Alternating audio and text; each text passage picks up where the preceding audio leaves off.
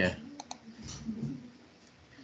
Software की training start करने से पहले थोड़ा सा एक चीज़ बता देता हूँ मैं कि ये जो ट्रेनिंग है केवल उन स्टूडेंट्स के लिए है जो इंटरेस्टेड हैं, जो अपसेंट रहेंगे इनडिसिप्लिन रहेंगे, उनको बस रिमूव करना है मुझे, क्योंकि हमने जो ट्रेनिंग सोची थी वो दस स्टूडेंट के लिए सोची थी, इस टाइम में बत्तीस, तैंतीस स्टूडेंट हैं।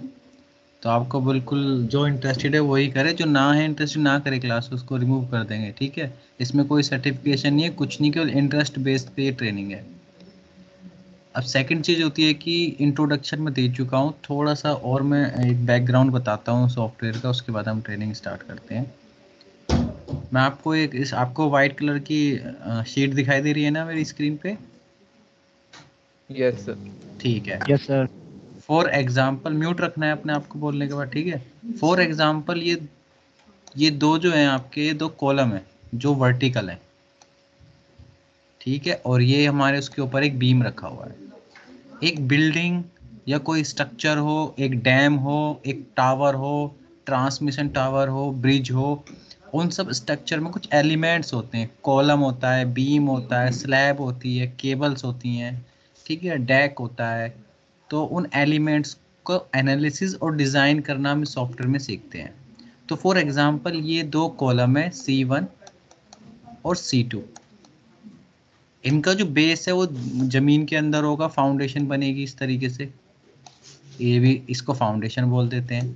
ठीक है एफ़ वन और एफ़ टू और ये है आपका बीम वन ये एक स्ट्रक्चर हो गया सिंपल एक फ्रेम इसके ऊपर एक मशीन रखनी है हमें, जिसका वज़न है हज़ार किलो। किलो में देख लेते हैं वैसे न्यूटन किलोमीटर में होते हैं, हज़ार किलो। अब हमें इस हज़ार किलो लोड की वजह से इस बीम के अंदर इंटरनल कुछ स्ट्रेस डेवलप हो जाएँगी। और बीम के अंदर स्ट्रेसेस होंगी, वो ट्रांसफ़र होंगी कॉलम में तो कॉलम के अंदर भी जनरेट हो जाएँगी। और बीम, और इस फाउंडेशन के अंदर भी कुछ स्ट्रेसेस आ जाएँगे। स्ट्रेस आएगा, डिफ्लेक्शन आएगा, मूवमेंट आएगा, शेयर फोर्स आएगा इस तरह के फोर्स जनरेट होंगे। तो इस हज़ार किलो, ये क्या है? एक्सटर्नल फोर्स इस एक्सटर्नल फोर्स की वजह से हमारे जो स्ट्रक्चर के एलिमेंट्स हैं, उसमें कुछ फोर्सेस जनरेट हो रहे हैं। उनको कैलकुलेट करने को हम बोलते हैं एनालिसिस मैनुअली भी कर सकते हैं स्टेट प्रो से भी कर सकते हैं। अब हमने हमने कैलकुलेट कर लिए सारे फोर्स उसके बाद हमें ये पता करना है कि जो कॉलम बी में जो एलिमेंट्स हैं, किस मटेरियल के हम बनाएँ जिससे हज़ार किलो वज़न को बेयर कर लें। तो ये किसमें आ जाता है? डिज़ाइन में। कौन सा मटेरियल यूज़ करें? मटेरियल के बाद इसका साइज़ क्या रखें? कितनी इसकी डेप्थ होगी? कितना इसका लेंथ होगी? कितना हम रखें? अगर आरसीसी की बात करें तो कितना इसमें सरिया डलेगा रेनफोर्समेंट ठीक है? कॉलम बी में स्टील की बात करें तो स्टील का किस टाइप का सेक्शन होगा? कौन सा स्टील यूज़ करेंगे? तो ये सब कैलकुलेट करने को कहते हैं हम डिज़ाइन तो हम दोनों चीज़ करेंगे एनालिसिस भी डिज़ाइन भी सॉफ्टवेयर के अंदर। अब फॉर एग्जांपल आपको यही चीज़ बना सॉफ्टवेयर में करनी है तो सबसे पहला स्टेप होगा कि आपको एक थ्री ऐसा बनाना पड़ेगा फ्रेम ठीक है? उस फ्रेम को बनाने के बाद उसके बाद लोड लगाना होगा। उसको प्रॉपर्टी देनी होगी, उसको एक साइज़ एज्यूम करना होगा। अभी मैंने कहा कि साइज़ हम कैलकुलेट करते हैं, लेकिन सॉफ्टवेयर में जब हम आते हैं तो हमें पहले एक मिनिमम साइज़ देना होता है। फिर सॉफ्टवेयर हमें बताता है कि इस साइज़ पे तो फेल हो रहा है तो साइज़ को हम इंक्रीज करते हैं। ठीक है? ये एक सिंपल सा प्रोसेस है। अब हम चलेंगे सॉफ्टवेयर के ऊपर।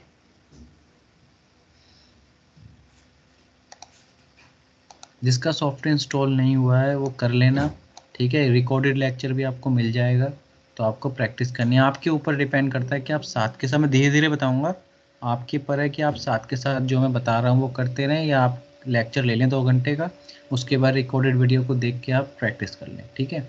तो यहाँ पे आप देख सकते हो, जहाँ मेरा कर्सर ब्लिंक कर रहा है, ये क्या है आपका? स्टैट प्रो का आइकन ऐसा आ गया होगा आपका डेस्कटॉप पे। जिन लोगों का एक्टिवेट नहीं हुआ है, वो एक बार इसको राइट क्लिक करके रन एज एडमिन चला के देखें। जब रन एज एडमिन चल जाएगा, उसके बाद आपको एक्टिवेट करना है। ये सॉफ्टवेयर ऑन हो रहा है। फिर यहाँ से आपको इसमें लाइसेंस मैनेजमेंट में जाके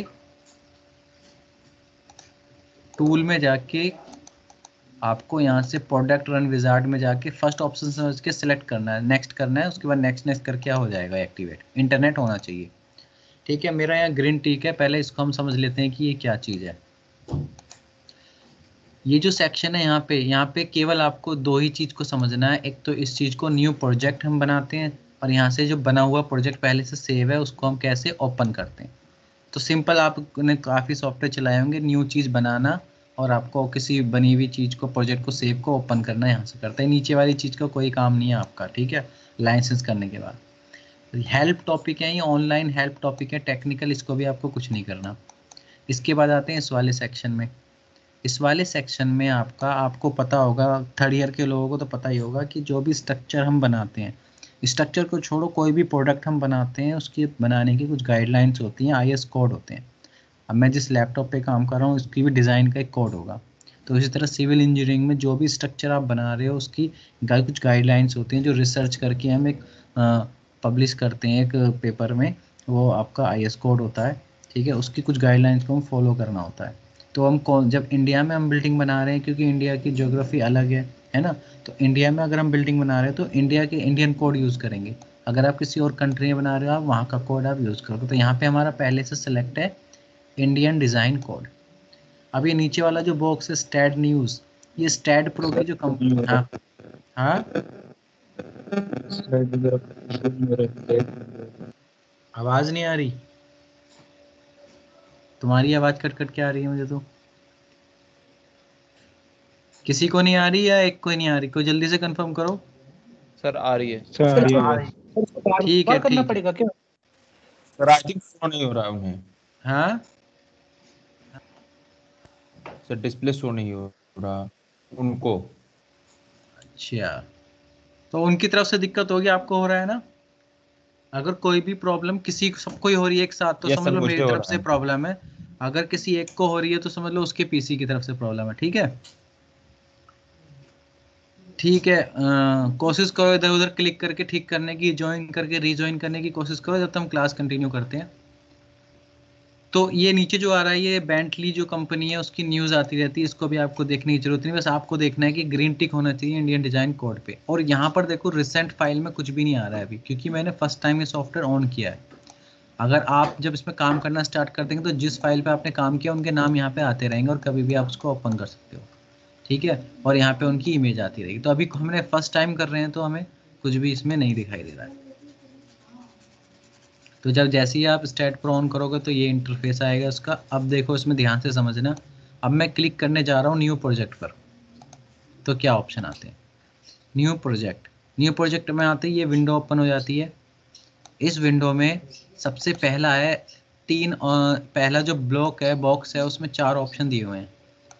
स्पेस इसमें से कोई एक ही सिलेक्ट करना है आपको। स्पेस प्लेन फ्लोर ट्रस अब मैं एक एक को बताता हूँ, अगर स्पेस आप सिलेक्ट करते हैं, यानी कि आप कोई स्ट्रक्चर कैसा बना रहे हो, आप थ्री स्ट्रक्चर की बात कर रहे हो, जिसमें थ्री लोडिंग है। यानी जैसे मैंने अभी ये फ्रेम बनाया है, इस फ्रेम पे एक एरो से मैं लोड दिखा रहा हूँ, ये एक ही डायरेक्शन में वाई में। और एक लोड में इधर से दिखा रहा हूँ, ये एक्स में है। तो ये हो गया टू स्ट्रक्चर अगर इसमें लोडिंग जेड डायरेक्शन में भी लगेगी तो ये हो जाएगा थ्री स्पेस स्ट्रक्चर ठीक है? जेड डायरेक्शन में तो लगती है, हर डायरेक्शन से फोर्स लगता ही है। तो प्रैक्टिकली जो भी हम बिल्डिंग या स्ट्रक्चर डिज़ाइन करते हैं स्पेस में ही करते हैं, ठीक है? तो आपको हमेशा कौन सा सेलेक्ट करना है? स्पेस करना है। प्लेन का मतलब हो गया टू स्ट्रक्चर जो अभी मैंने बताया, ठीक है? तो आप टू स्ट्रक्चर बना रहे हो तो आप टू की ज़रूरत नहीं पड़ती कभी भी तो टू के लिए प्लेन स्ट्रक्चर यहाँ पे क्लिक कर सकते हो टिक कर सकते हो। उसके बाद आता है फ्लोर फ्लोर का मतलब अगर आप फ्लोर सेलेक्ट कर रहे हो तो आप क्या बनाना चाह रहे हो? फ्लोर का मतलब स्लैब ठीक है? आपकी अगर तीन फ्लोर की बिल्डिंग है तो हर फ्लोर पे एक जो लेंटर जिसे बोलते हो आप स्लैब जिसे हम बोलते हैं अपनी लैंग्वेज में सिविल में सॉफ्टवेयर में बोल रहे हैं, उसको फ्लोर अगर आप फ्लोर बनाना चाह रहे हो तो आप यहाँ फ्लोर सेलेक्ट करोगे. उसके बाद लास्ट ऑप्शन है ट्रस अगर आप ट्रस बनाना चाह रहे हो, जो ट्रायंगल शेप में जो स्ट्रक्चर्स होते हैं, है ना? ट्रस की भी कुछ प्रॉपर्टीज़ होती हैं. बाद में डिस्कस करेंगे और उस टाइप का स्ट्रक्चर आप बना रहे हो तो आपको सिलेक्ट करना पड़ेगा ट्रस बट यहाँ पे इंपॉर्टेंट चीज़ ये है कि स्पेस में जाके आप सारी चीज़ बना सकते हो। ज़रूरी नहीं है कंपलसरी नहीं है कि आप ट्रस बनाने के लिए ट्रस में जा रहे हो। ठीक है, फालतू के ऑप्शन है। आप में स्पेस में ही जाके आप टू भी बना सकते हो प्लेन फ्लोर भी बना सकते हो ट्रस भी बना सकते हो। ठीक है? तो यहाँ पे आपको मैं क्या सिलेक्ट कर लेता हूँ? क्योंकि मैंने कहा कि स्पेस ही यूज़ करना है हमेशा तो मैं स्पेस यहाँ पे सिलेक्ट कर लेता हूँ। स्पेस स्ट्रक्चर उसके बाद आता है कि फ़ाइल का नाम। तो मैं यहाँ डाल देता हूँ डे वन डे फ़र्स्ट है, आप, आपको डालना है मल्टी स्टोरी बिल्डिंग बना रहे हो ब्रिज बना रहे हो, कुछ भी बना रहे हो, उस फ़ाइल का नाम डाल दो। उसके बाद आ रहा है लोकेशन ठीक है? इस लोकेशन के बारे में जहाँ ये फ़ाइल सेव हो रही है तो मैं यहाँ थोड़ा सा यही बताना चाहूँगा कि जहाँ पर भी फ़ाइल सेव होती है ना, एक प्रोजेक्ट की फ़ाइल के साथ बहुत सारी फ़ाइल होती हैं। कुछ स्टूडेंट क्या करते हैं, इसको डेस्कटॉप सेलेक्ट कर देते हैं। डेस्कटॉप पे क्या होगा, आपके पहले ही प्रोजेक्ट में पूरा डेस्कटॉप भर जाएगा, बहुत छोटी छोटी फ़ाइल आ जाएँगी। तो अगर आपको डेस्कटॉप पे भी सेव करना है तो एक न्यू फोल्डर बना के उसमें आप पाद दें यहाँ पे, ठीक है? जैसे कि मैं दे देता हूँ यहाँ पे, चलो। डिफ़ॉल्ट ना करके मैं पहले है ना, अपने डेस्कटॉप पे एक फ़ोल्डर बना देता हूँ। डे वन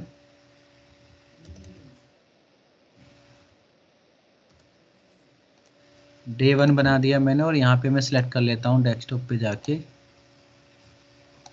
दोबारा से।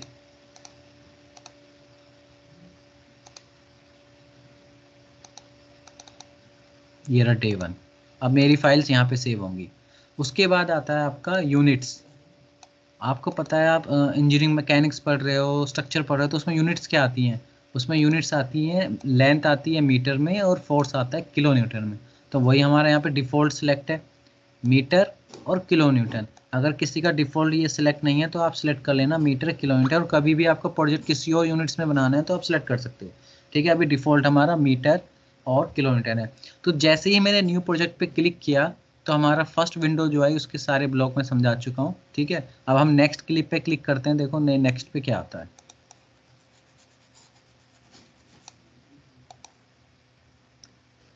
नेक्स्ट पे जैसे क्लिक किया तो एक और विंडो आ गई। इसको और समझ लेना थोड़ी सी, इसमें थोड़ा सा समझाने का ज़्यादा है।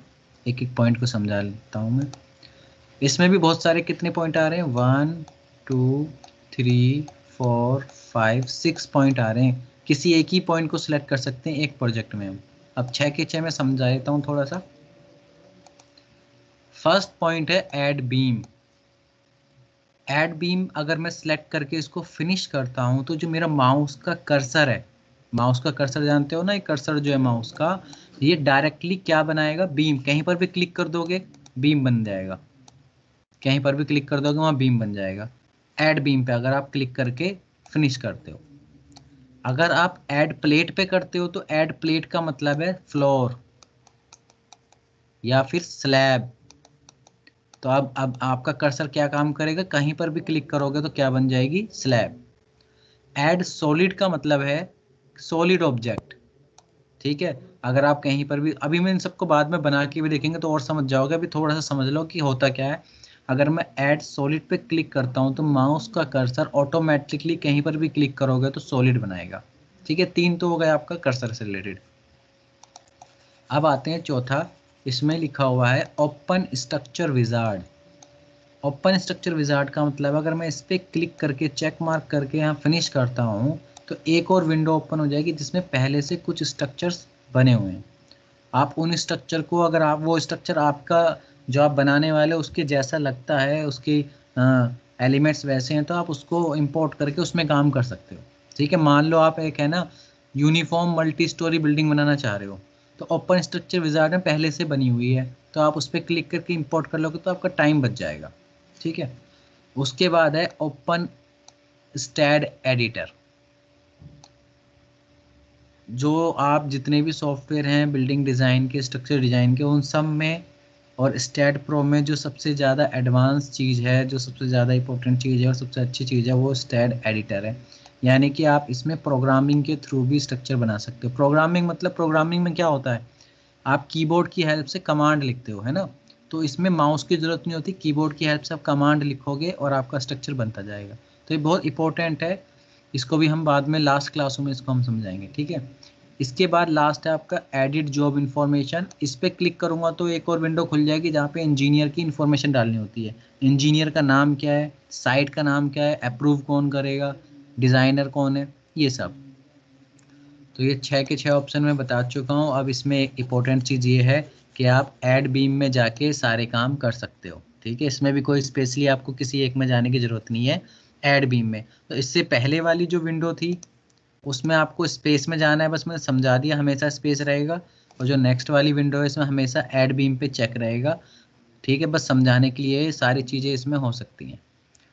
अब मैंने जैसे बताया कि ऐड बीम पे अगर मैं क्लिक करूँगा तो मेरा माउस कहीं पर भी क्लिक करने पर बीम बनाएगा। तो सबसे पहले आपको फिनिश करते के साथ ही क्या करना है? कहीं क्लिक नहीं करना है। ये आपका स्टैट प्रो ओपन हो गया है। ठीक है, अब देखो मेरा माउस का कर्सर ब्लिंक कर रहा है और एक ग्रिड है यहाँ पे। ये ग्रिड है। यहाँ हमारा सारा काम होगा वर्क स्पेस है ये। ठीक है, यहाँ पे हमारे कर्सर से ले, लेकर और प्रॉपर्टी से लेकर टूल्स हैं और यहाँ पे हमारा मीनूस है। यहाँ पे और अदर ऑप्शन है यहाँ पे प्रॉपर्टीज़ हैं। ठीक है? तो सबसे पहले मैं क्या करूँगा मैं सबसे पहले जो आपके कीबोर्ड में आ, आ, सबसे पहला की होता है स्केप की होता है उसको मैं प्रेस करूँगा जिससे मेरा कर्सर जो है नॉर्मल कर्सर बन जाएगा। अभी कैसा है कर्सर एड बीम कहीं पर भी क्लिक करूँगा तो बीम बन जाएगा। आपको दिखाता हूँ मैं। देखो मैं क्लिक कर रहा हूँ तो बीम बन रहा है। अब आप बोलोगे कि सर बीम तो काफ़ी बड़े और रेक्टेंगल टाइप के होते हैं, उनका क्रॉस सेक्शन होता है मटेरियल होता है। यहाँ तो केवल लाइन खींच रही है। तो बिल्कुल सही कहा आपने। इसमें हम जो भी स्ट्रक्चर बनाएँगे, वो लाइन से बनाएँगे। बाद में उसको प्रॉपर्टीज़ देंगे। ठीक है? अभी ये बीम से एक लाइन जिसमें दो ब्लैक डॉट्स हैं। उसको भी मैं समझाऊँगा। तो अभी मैं स्कैप बटन दबाता हूँ तो ये कर्सर क्या हो जाता है? नॉर्मल कर्सर ठीक है? अब कहीं भी क्लिक करूँगा, कुछ नहीं होगा। ठीक है? इनको मैं डिलीट कर देता हूँ। अभी के लिए फ़िलहाल। ठीक है तो ये स्टैट प्रो का इंटरफेस थोड़ा सा और बता देता हूँ मैं।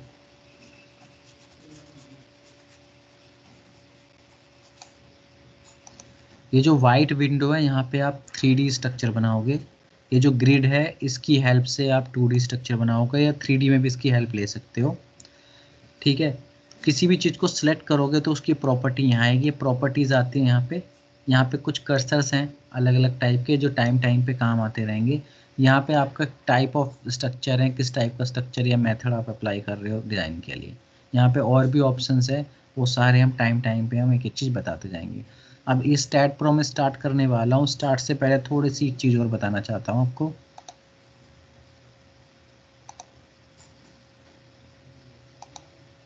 बीम क्या होता है? जो हॉरिजेंटल मेंबर होता है आपके किसी भी बिल्डिंग का। ठीक है? टेक्निकल लैंग्वेज में अगर मैं बोलूँ, ऐसा मेंबर जिसमें फ्लैक्चर स्ट्रेस डेवलप होती हैं। आप देखो, ये जो कॉलम है, ये कॉलम है। इसमें ऐसे तो लोड लगेगा ऊपर से तो इसमें कौन सी टाइप की आपका स्ट्रेसेस डेवलप होंगी? एक्सियल और इसमें लोड कैसे लगेगा बीम में? इस तरीके से। तो इसमें कैसे डेवलप होंगी? इसमें ऐसी होंगी। इस तरह से फ्लेक्सर बेंडिंग होगी। ठीक है? अगर किसी कॉलम में, ये कॉलम में अगर हम लोड इस तरीके से लगा दें तो इसमें भी किस तरह की स्ट्रेस डेवलप होंगी? बीम की तरह। तो ये बीम बन जाएगा। तो कोई अगर आपसे पूछे बीम और कॉलम में डिफरेंस क्या है तो आपको ये नहीं बोलना कि हॉरिजेंटल मेंबर बीम होता है और वर्टिकल मेंबर कॉलम होता है। मैं जानता हूँ कि मैक्सिमम चीज़ ऐसा ही होता है बट लोडिंग का डिफरेंस होता है। अगर फ्लेक्सर स्ट्रेस डेवलप हो रही है जिस मेंबर में वो बीम है एक्सियल स्ट्रेस डेवलप जिसमें हो रही है वो कॉलम है। ठीक है? एक तो ये चीज़ समझानी थी।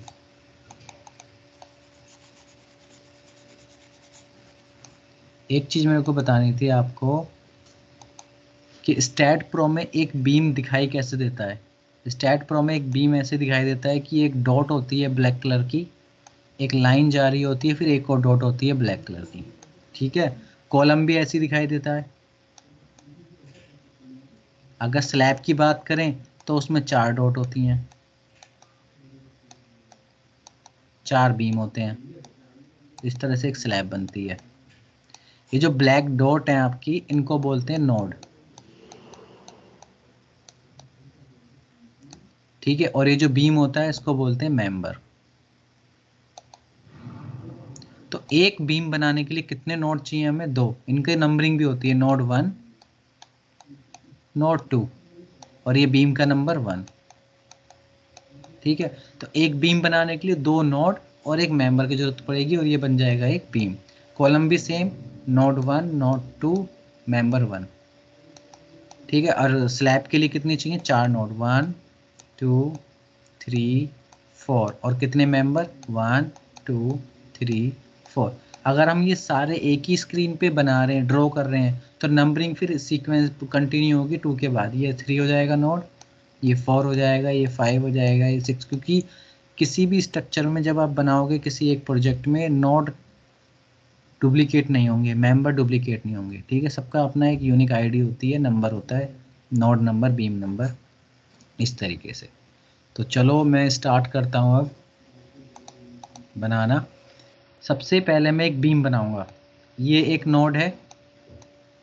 ये एक नोड है। और बीम की जो लेंथ है, वो पाँच मीटर है।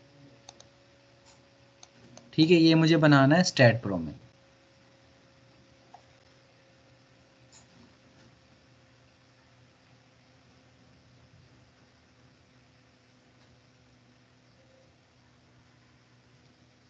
एक सेकंड जरा मैं ठीक है।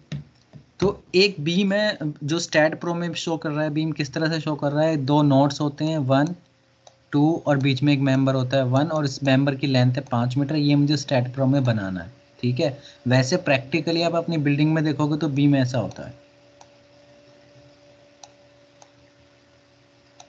ठीक है, इस तरीके का बीम होता है, क्योंकि ये बिना प्रॉपर्टी का है, और स्टैट प्रो में ऐसे दिखाई देगा, ऐसा भी दिखाई दे सकता है बताऊँगा कैसे दिखाई देगा, पर काम जो होगा वो लाइन डायग्राम पे ही होगा, ठीक है? तो ये मैं बनाना को स्टार्ट करता हूँ अपने स्टैट प्रो में।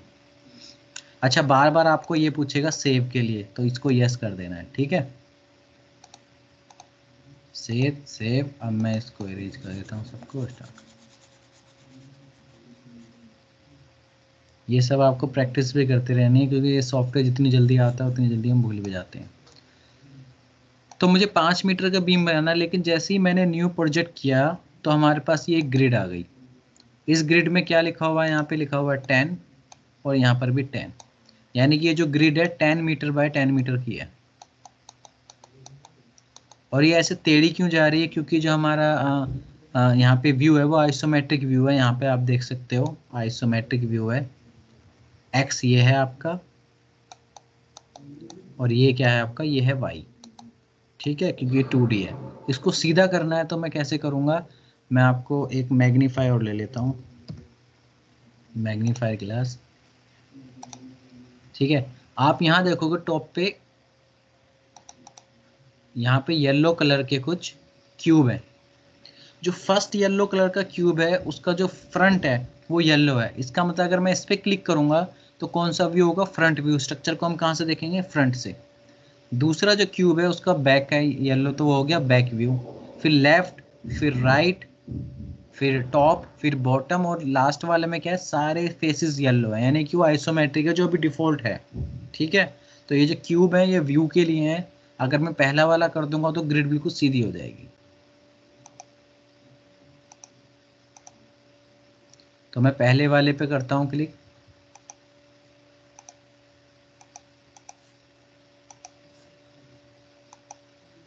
देखो ग्रिड बिल्कुल सीधी हो गई है। ठीक है? अब देखो, तरीके कितने हैं। वो जो मैंने बीम अभी बताया था ना आपको कि मेरे को 10 मीटर का बीम बनाना है, लो, मैं यहाँ पे बना देता हूँ। मेरे को ये एक नोड ये रहा और एक नोड ये रहा। पाँच मीटर का सॉरी पाँच मीटर का मुझे बीम बनाना है। अब बीम बनाने के तरीके देखो कितने हैं। पहला तरीका है कि जो आपने जैसी न्यू प्रोजेक्ट किया तो आपका माउस क्योंकि हमने न्यू प्रोजेक्ट में सेलेक्ट क्या किया था? एड बीम तो एड बीम का मैंने आपको बताया था कि अगर आप एड बीम सेलेक्ट करते हो तो आपका जो माउस का कर्सर है, वो ऑटोमेटिक क्या बनाएगा? बीम बनाएगा। तो आपको ज़ीरो पे क्लिक करना है और पाँच पे क्लिक करना है। बीम बन गया इस डायरेक्शन में। बट मैंने तो स्केप बटन से क्या कर दिया अपने कर्सर को? नॉर्मल कर्सर कर दिया। तो पहले वाला कर्सर जो बीम बनाने वाला कर्सर था, वो कैसे लाएँगे? तो उसके लिए हम क्या करेंगे? देखो यहाँ पे, ये जो प्रॉपर्टी है, इसको मैं उठा के ऊपर को ले आता हूँ तो यहाँ पे एक बटन है स्नैप ये स्नैप एक में से कलर चेंज कर लेते हैं। ठीक है, यहाँ पे आप देख रहे हो, यहाँ पे है आपका एक स्नैप बटन तो जैसे ही मैं इसे स्नैप बटन में क्लिक करूँगा तो मेरा माउस रेडी हो जाएगा दोबारा से बीम बनाने के लिए। तो मैं करके देखता हूँ। स्नैप पे क्लिक किया और मेरा बीम देखो ब्लिंक होने लग गया। मैंने ज़ीरो पे क्लिक किया और पाँच पे क्लिक कर दिया। ठीक है? और फिर से स्कैप बटन दबा दिया नॉर्मल कर्सर के लिए। शायद आपको दिखाई ना दे रहा हो, ये बीम बना हुआ पाँच मीटर का, ये वाला। तो मैं क्या करूँगा, इस ग्रिड को क्लोज कर दूँगा। यहाँ पे आप देख रहे हो, यहाँ पे यहाँ पे ग्रिड सिलेक्ट है। इसको मैं अनसेलेक्ट कर देता हूँ तो ये ग्रिड चली जाएगी। और आपको बीम बिल्कुल साफ़ एक सेंटर में आ जाएगा आपको। ये पाँच मीटर का बीम है, ठीक है? किसी का कोई डाउट हो, किसी को लग रहा हो कि फास्ट चल रहे हैं, थोड़ा और स्लो चलना चाहिए, कुछ भी है तो बताओ मेरे को।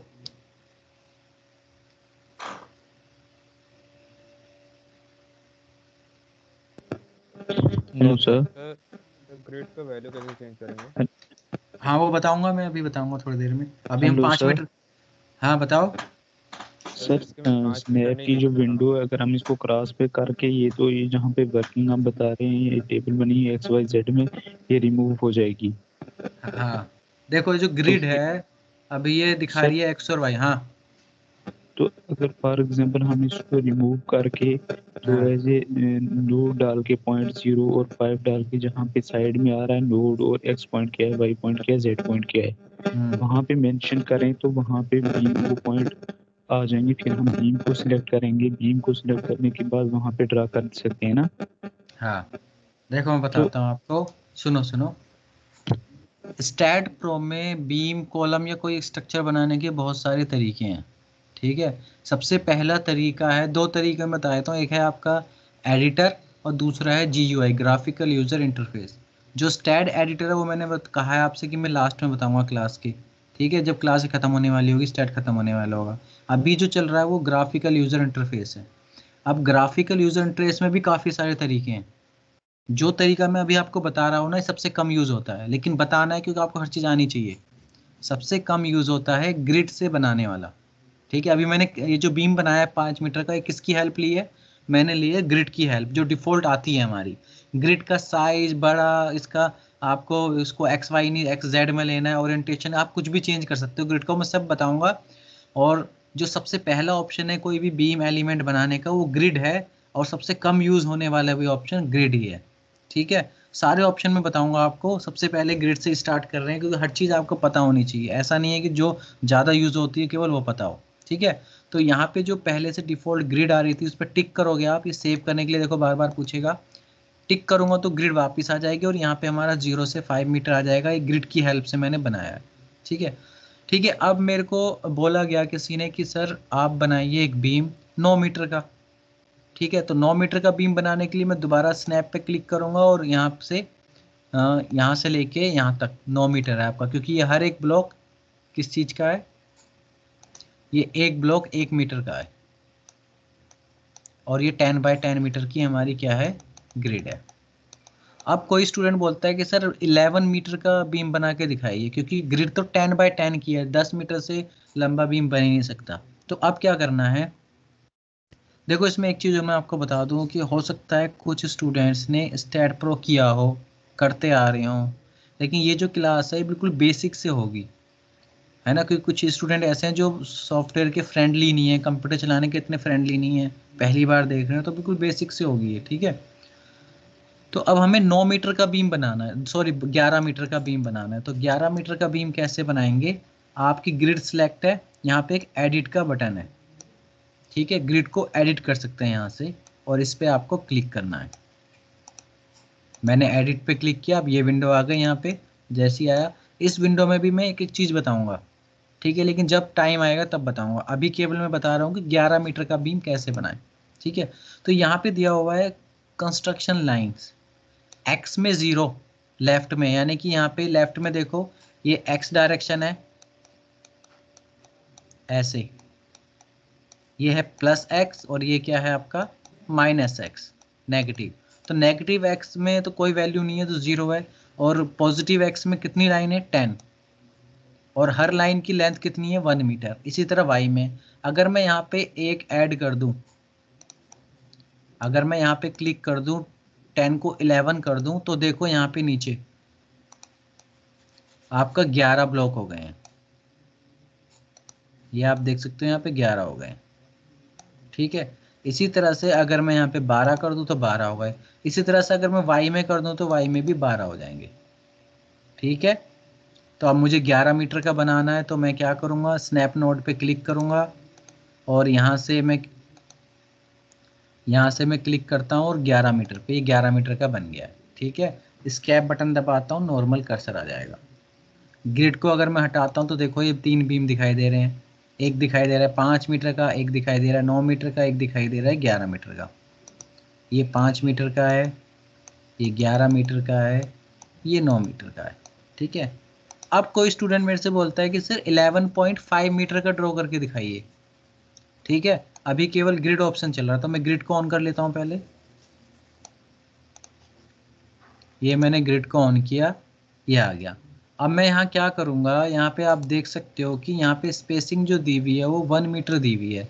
मैं इसको क्या करूँगा? पॉइंट फाइव कर दूँगा, क्योंकि हमें इलेवन पॉइंट फाइव चाहिए ना तो पॉइंट फाइव एक्स में भी वाई में भी कर देता हूँ। लेकिन पॉइंट फाइव करते के साथ ही ग्रिड का साइज़ क्या हो गया? सिक्स बाई सिक्स हो गया। क्योंकि number of construction line twelve थी। और हमारी स्पेसिंग पॉइंट फाइव है तो कितना हो गया? बारह। लेकिन हमें इलेवन पॉइंट फाइव चाहिए। तो लगभग ये चौबीस कर देता हूँ इनको मैं। चौबीस चौबीस सॉरी अब इसमें मुझे इलेवन पॉइंट फाइव मिल जाएगा। ओके करता हूँ। थोड़ा सा जूम करके आपको दिखाता हूँ। तो यहाँ पे देख सकते हो आप इलेवन पॉइंट फाइव ये रहा। तो मैं स्नैप नोट बटन पे जाता हूँ ज़ीरो पे क्लिक करता हूँ और 11.5 पे क्लिक कर देता हूँ। ठीक है? और अब मैं ग्रिड को अगर हटाता हूँ यहाँ से तो देखो आपको ये रहा 11.5 ये बीच में एक नोट और दिखाई दे रहा है आपको। ये कैसे आ गया? क्योंकि जब मैंने पाँच मीटर का बीम बनाया था, मैंने उसी के ऊपर क्या बना दिया? यहाँ से ज़ीरो से 11.5 मीटर का। इसीलिए वो पाँच मीटर वाला बीम का एंड पॉइंट दिखा रहा है। ठीक है? ओके, अब इसमें एक चीज़ और बताता हूँ आपको। यहाँ पे कितने बीम है? दो बीम है और यहाँ पे एक बीम है। अगर मैं माउस के कर्सर से यहाँ पे क्लिक करूँ। यहाँ पे तो पूरा बीम सिलेक्ट हो रहा है। अगर मैं बीम के ऊपर माउस के कर्सर को होल्ड रखता हूँ तो कितने कलर दिखा रहा है? तीन कलर दिखा रहा है। इनका मतलब क्या है? इनका मतलब है कि इस बीम का ग्रीन पोर्शन जो है, वो है स्टार्टिंग पॉइंट ब्लू जो है आपका वो है एंड पॉइंट और जो आपका रेड है पोर्शन वो है मिडल पॉइंट। इसकी हेल्प होती है हमारी ओरिएंटेशन करने में, लोड लगाने में। ठीक है? काम आता है। आगे बता दूँगा ये कहाँ काम आएगा। अब मैं क्या करता हूँ, इनको सिलेक्ट करता हूँ और डिलीट कर देता हूँ।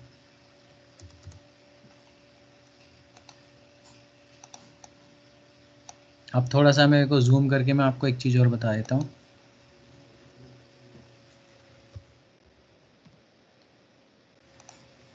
यहाँ पे अगर आप देखोगे जूम करके, यहाँ पे कुछ कर्सर्स बने हुए हैं। यहाँ पे बहुत सारे कर्सर्स हैं, लेकिन मैं आपको आज दो ही कर्सर बताऊँगा। पहला कर्सर है नोड कर्सर इस कर्सर के पास एक येलो कलर की डॉट है। आपको पता है कि एक बीम एक कॉलम एक स्लैब किससे मिलके बनी होती है? मेंबर प्लस नोड अगर आपको नोट डिलीट करने हैं तो आपको ये वाला कर्सर की हेल्प पड़ेगी। इस हेल्प से ही नोट सेलेक्ट होंगे। और जो नीचे वाला कर्सर है, वो है cursor normal cursor beam cursor भी कहते हैं। इससे बीम सिलेक्ट होकर डिलीट होंगे। तो मैं आपको करके दिखाता हूँ ये।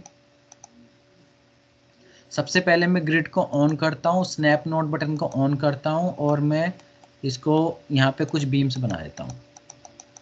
ठीक है? और ग्रिड को ऑफ़ कर देता हूँ।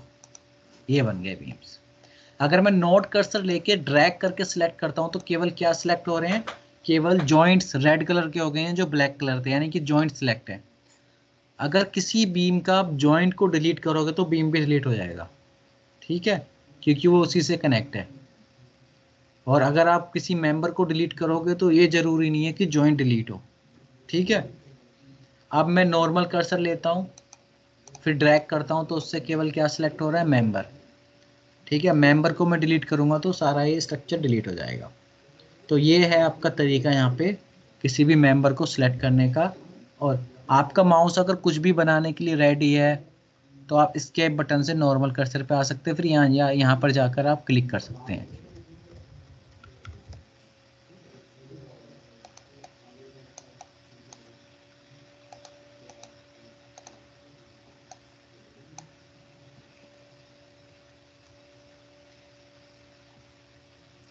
मैं दोबारा से आपको बताता हूँ कि ये जो स्ट्रक्चर्स बनाने होते हैं मॉडलिंग बोलते हैं इसको मॉडलिंग करना। और स्टैट प्रो में पहला स्टेप है आपका मॉडल बनाना।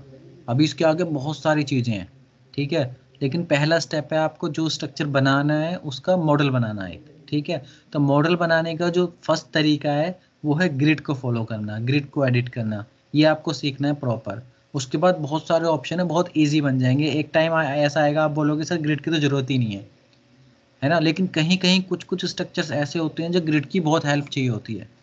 लेकिन लेकिन वो बहुत कम ज़रूरत पड़ती है, इसीलिए ग्रिड भी आपको आना चाहिए।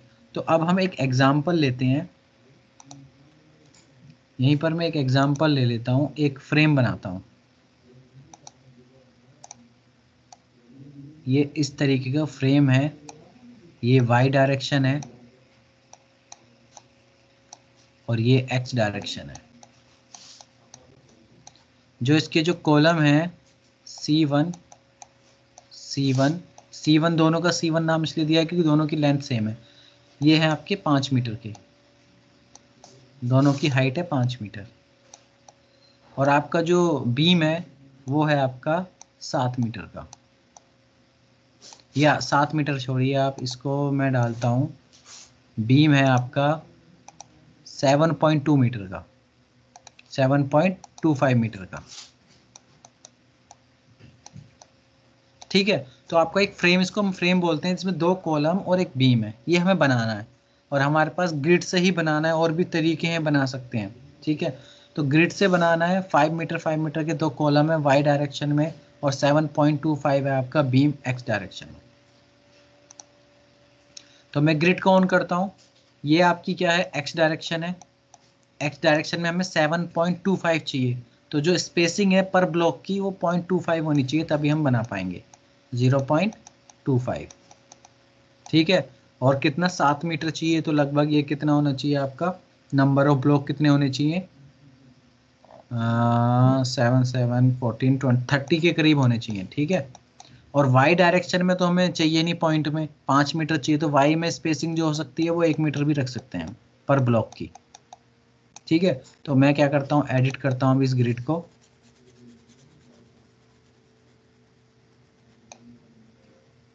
मैं गया एडिट में। यहाँ पे एक्स डायरेक्शन में मैंने क्या ली स्पेसिंग 0.25 पॉइंट यहाँ पे देखो मैं फिल कर रहा हूँ। और यहाँ पे ले लिए 30 स्पेसिंग 30 में 7.5 आ रहा है, ठीक है? और वाई डायरेक्शन में हमने कितना लिया स्पेसिंग वन मीटर और क्योंकि पाँच ही मीटर चाहिए हमें तो पाँच मीटर ठीक है? ये तो हमारी ये ग्रिड आ गई है, आप नीचे देख सकते हो।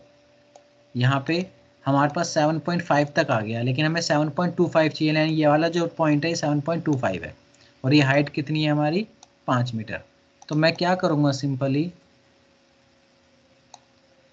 मैं स्नैप नोट बटन पे क्लिक करूँगा और ज़ीरो पे क्लिक करूँगा, पाँच मीटर पे क्लिक करूँगा हॉरिजेंटली जाऊँगा मैं 7.25 तक, फिर मैं नीचे डाउन में क्लिक कर दूँगा ग्रिड को मैं ऑफ़ कर दूँगा। देखो। ये हमारा क्या हो गया है?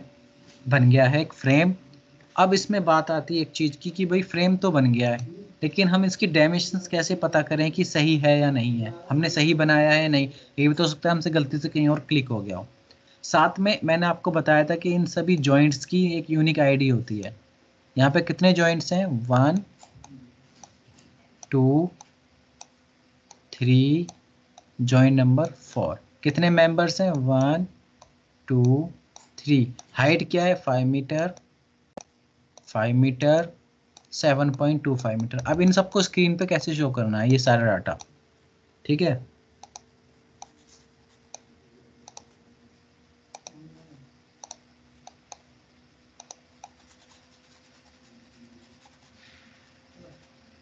तो शॉर्टकट की मैं बताता हूँ, अगर आपको नोड इस नोड का नंबर चाहिए, इस नोड के नंबर्स चाहिए तो उसका शॉर्टकट है shift button plus N N से नोड और बीम का चाहिए तो शिफ्ट प्लस बी तो मैं करके देखता हूँ। मैंने जब शिफ्ट एन प्रेस किया तो देखो नोड के ऊपर नंबर आ गया, और जब शिफ्ट बी प्रेस किया तो बीम के ऊपर नंबर आ गया। आप देख सकते हो यहाँ पे बीम नंबर चार, बीम नंबर तीन, बीम नंबर पाँच। नोड नंबर पाँच, नोड नंबर छः, नोड नंबर सात, नोड नंबर आठ। अब ऐसा क्यों है कि नोड नंबर वन से क्यों नहीं स्टार्ट हुआ ये? ठीक है, क्योंकि हम पहले से बना चुके हैं हम इसी प्रोजेक्ट में। ऊपर देखो, ये दिखाई नहीं दे रहा था क्योंकि मैंने फ्रंट व्यू करके जूम किया हुआ था ऐसे। तो जूम करने से क्या हुआ था कि हम, जो ऊपर हमने पहले से एक बीम बनाया हुआ था, वो नहीं दिखाई दे रहा था। तो मैंने क्या किया जूम करके मैं आपको बता देता हूँ फिर।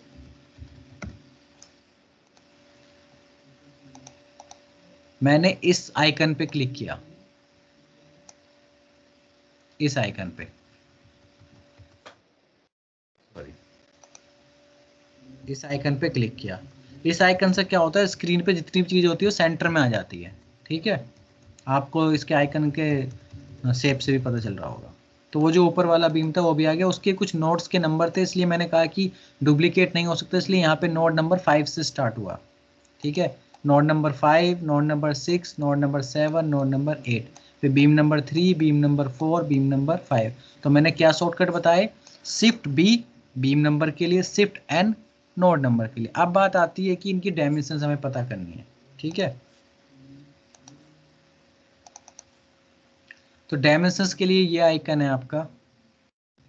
ये भी जूम करके दिखाना पड़ेगा आपको।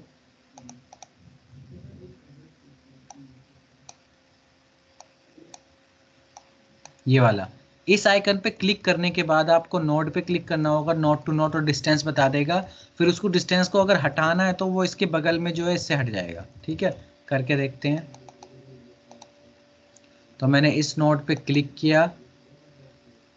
यहाँ से यहाँ पे क्लिक किया, पाँच मीटर, इस नोट से इस नोट पे क्लिक किया, साढ़े seven point two five metre. यहाँ किया आपका ना फाइव मीटर डायगनली भी आप चेक कर सकते हैं। 8.81 मीटर 8.81 मीटर। और उसके बगल में जो कर्सर है, उस पर क्लिक करेंगे तो ये सारी डायमेंशंस रिमूव हो जाएँगे।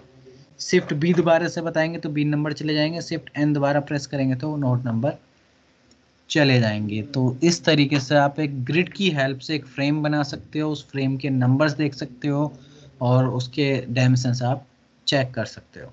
ठीक है? तो अब किसी को कुछ डाउट हो तो कुछ पूछें फिर आगे चलते हैं। ये सब आपको वीडियो रिकॉर्डेड मिल जाएगी फिर आपको इसकी प्रैक्टिस करनी है। सर आप एक चीज़ बताना भूल गए। सर वो मिडल माउस से हमारा कर्सर मूव करेगा ना पूरे होल स्ट्रक्चर को हम देख सकते हैं। मिडल माउस से पैन होता है। यस सर पैन वाला। है ना? ये हो रहा है। मिडल माउस किसी भी सॉफ्टवेयर में कॉमन होते हैं। कुछ चीज़ें होती है कॉमन होती है। कोई भी सॉफ्टवेयर आप ले लो उसी में मिडल माउस ज़्यादातर आपको इसी काम में मिलेगा पेन के लिए। किसी चीज़ को इधर उठा के इधर से उधर रखना है देखना है। ठीक है? पेन का मतलब ये नहीं होता कि उसकी पोजीशन चेंज हो रही है कोऑर्डिनेट्स चेंज हो रहे हैं। ठीक है? पेन का मतलब है आप केवल स्क्रीन को इधर उधर मूव कर रहे हो। मैंने अगर इस फ्रेम को यहाँ उठा के रख दिया तो इसके जो जॉइंट्स हैं, इनके जो कोऑर्डिनेट्स होंगे, वही रहेंगे जो हैं। ठीक है? ये हाथ आ रहा है। ज़्यादातर सभी सॉफ्टवेयर में काम करता है। ठीक है? तो ये तरीका था आपका ग्रिड का। तो आप ग्रिड से लगभग टू कोई भी स्ट्रक्चर बना सकते हो। ग्रिड को आप चेंज भी कर सकते हो। ठीक है? अच्छा अब ये देखो, इसमें जो ग्रिड में ये कौन सा प्लेन है? ये है एक्स प्लेन और ये कौन सा प्लेन है? ये है वाई प्लेन और यहाँ पे जो येलो कर्सर मैंने बताए थे आपको येलो क्यूब अगर मैं इसके ये वाले क्यूब पे आ, करता हूँ इस वाले क्यूब पे अगर मैं क्लिक करता हूँ तो टॉप है। तो देखो क्या होता है। जैसे ही मैं टॉप पे क्लिक करूँगा तो ग्रिड हमारी गायब हो गई बल्कि एक लाइन में दिखाई दे रही है ग्रिड सॉरी दोबारा क्लिक कर। क्योंकि ये टॉप व्यू हो गया। अगर सामने से आप किसी चीज़ को देखोगे, एक वॉल को अगर उसके आप प्लेन के साथ देखोगे तो तो उसकी विड्थ थिकनेस दिखाई देगी ना। तो ग्रिड की थिकनेस तो केवल ये है तो इसलिए ग्रिड दिखाई ऐसी दे रही है। ठीक है? अब मैं चाहता हूँ कि ग्रिड मेरी इस प्लेन पे हो। कौन से प्लेन पे हो? अभी मैंने कौन सा प्लेन सेट किया हुआ है? अभी जो मेरा प्लेन सेट है, वो इस तरीके से है एक्स और जेड और हमारे जो ग्रिड है, पहले वाले डिफ़ॉल्ट ग्रिड जो है, वो किसमें है? एक्स और वाई में।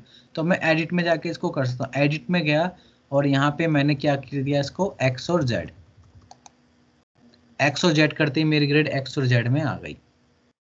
ठीक है ग्रिड को हम सेटिंग जो डिफ़ॉल्ट है, वो कर देते हैं। वन टेन ठीक है एक्स और जेड इसी तरीके से आप अपने हिसाब से ग्रिड को ओरिएंट कर सकते हो, उसके प्लेन चेंज कर सकते हो यहाँ से। ठीक है? ग्रिड का जो ओरिजिन है, उसके जो कोऑर्डिनेट है, वो ज़ीरो ज़ीरो है, वो आप अपने अकॉर्डिंग चेंज कर सकते हो। ठीक है? ये आप प्लेन के अकॉर्डिंग आप उसको रोटेट करना चाहते हो किसी एंगल पे तो कर सकते हो, करके देखते हैं अभी हम।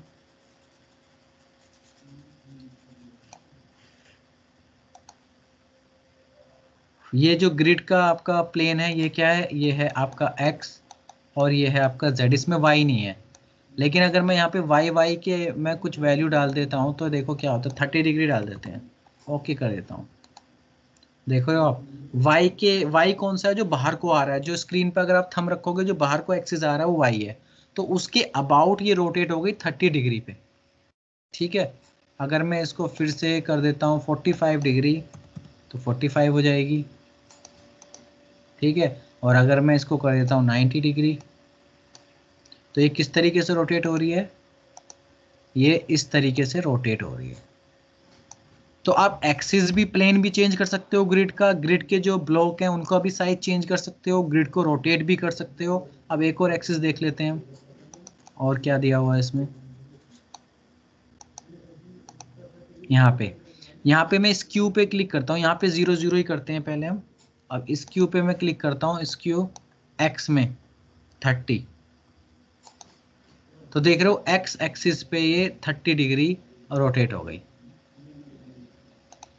तो ये जो आपका एडिट का ऑप्शन है ग्रिड का, इसमें देखो सारी चीज़ें आपको पता चल गई होंगी। ये प्लेन चेंज करने के लिए है, ये किसी प्लेन पे रोटेट करने के लिए है, ये आपका ग्रिड का ओरिजिन चेंज करने के लिए, ये भी देख लेते हैं एक बार ओरिजिन चेंज करके क्या होता है अभी। पहले इसको डिफ़ॉल्ट सेट कर देते हैं। ज़ीरो अभी ओरिजिन कहाँ पे है? यहाँ पे है। ज़ीरो ज़ीरो पे। मैं ओरिजिन चाहता हूँ एक्स में माइनस फाइव हो।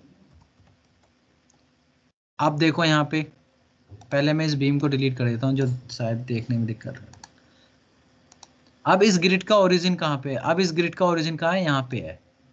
इसके बाद माइनस फाइव एक्स में प्लस फाइव एक्स में। तो इस तरीके से आप ग्रिड के ओरिजिन को भी चेंज कर सकते हो। अगर मैं वाई में भी डाल दूँ तो ग्रिड यहाँ आ जाएगी। देखो वाई में डाल देता हूँ मैं जेड में सॉरी जेड में डालता हूँ पाँच मीटर।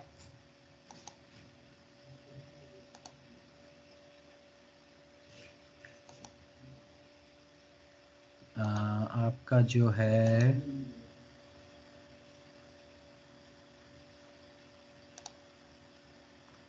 एक्स में मैंने डाला फाइव और जेड में मैंने डाला है प्लस फाइव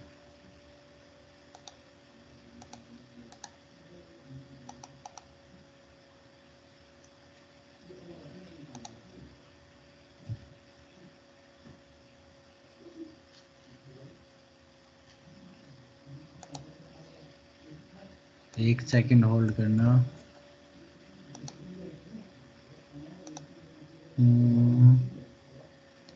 एक्स में माइनस फाइव हो गया हमारा और ये हो गया हमारा। ठीक है। देखो। अब ओरिजिन क्या हो गया हमारा? देखो, यहाँ पे ये ज़ीरो है और यहाँ पे ये ज़ीरो है। अब हमारा ओरिजिन ये हो गया। ठीक है? यहाँ पे लिखा हुआ रिटर्न में नहीं आता बस। आपको यहाँ से देखना पड़ेगा ओरिजिन कहाँ है। अगर एजिस पे है तो रिटर्न में ज़ीरो जहाँ पे है, वहाँ पे हमारा सेंटर है। ठीक है? ठीक है। अब इसमें, इस एडिट में ऐसी कौन सी चीज़ें जो नहीं पता? अगर मैं यहाँ एक्स में वैल्यू डालूँ तो ये माइनस में और इंक्रीज हो जाता है। वाई में डालूँ तो माइनस में और इंक्रीज हो जाता है। तब आपका ओरिजिन यहाँ शो होने लगेगा। ठीक है? तो इस ग्रिड के एडिट में आप किसी भी टाइप का टू बना सकते हो स्ट्रक्चर अगर मैं आपसे बोलूँ यहाँ पे ले लेते हैं एक पेज। ये है आपका एक क्यूब। क्यूब का एक फेस, ये तो आप बना सकते हो ग्रिड की हेल्प से, पर मैं अगर बोलूँ थ्री क्यूब है। इस तरीके का, जिसमें डेप्थ भी है, हाइट भी है विर्थ भी है तो इसको कैसे बनाओगे? ग्रिड से तो केवल एक फेस बन सकता है। आप ग्रिड से आपका ये फेस बन सकता है, इस वाले एक्सिस पे। ये पीछे वाला बन सकता है, ये बन सकता है, ये बन सकता है, नीचे वाला बन सकता है, ठीक है? लेकिन आपका ये पूरा थ्री नहीं बन सकता, इसलिए मैंने कहा कि ज़्यादातर बनाने को तो बना सकते हो, बहुत टाइम लगेगा, ठीक है? पहले एक फेस बनाओगे, फिर ग्रिड को चेंज करोगे, फिर दूसरा फेस बनाओगे, उनको कनेक्ट करोगे, ठीक है? तो ये तो बहुत लेंथी प्रोसेस हो गया तो करना नहीं होता तो और भी तरीके हैं किसी भी तरह के स्ट्रक्चर को बनाने के लिए। लेकिन टू प्लेन कोई बनाना है, आपको कोई फ्रेम कोई एक बीम बनाना है तो बहुत जल्दी से, बहुत फास्ट तरीके से ग्रिड की आप हेल्प ले सकते हो। ग्रिड को आप प्लेन चेंज कर सकते हो ग्रिड के आप ब्लॉक्स चेंज कर सकते हो।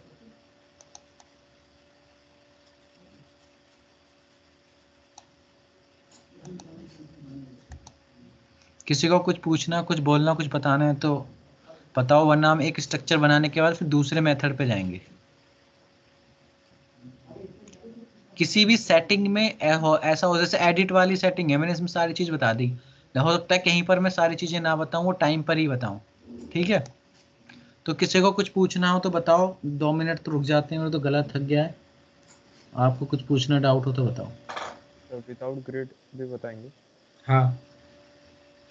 दो घंटे की क्लास है तीन दिन ही होनी है हफ़्ते में तो ज़्यादा सा बताना है। आप फिर रिकॉर्डेड वीडियो को देख के प्रैक्टिस कर सकते हो है ना? अभी तो साथ के साथ प्रैक्टिस नहीं कर पा रहे होंगे। आपको खुद ही फिर करना पड़ेगा याद जो रहेगा या रिकॉर्डेड वीडियो को देख के आप कर लेना। सर? हाँ।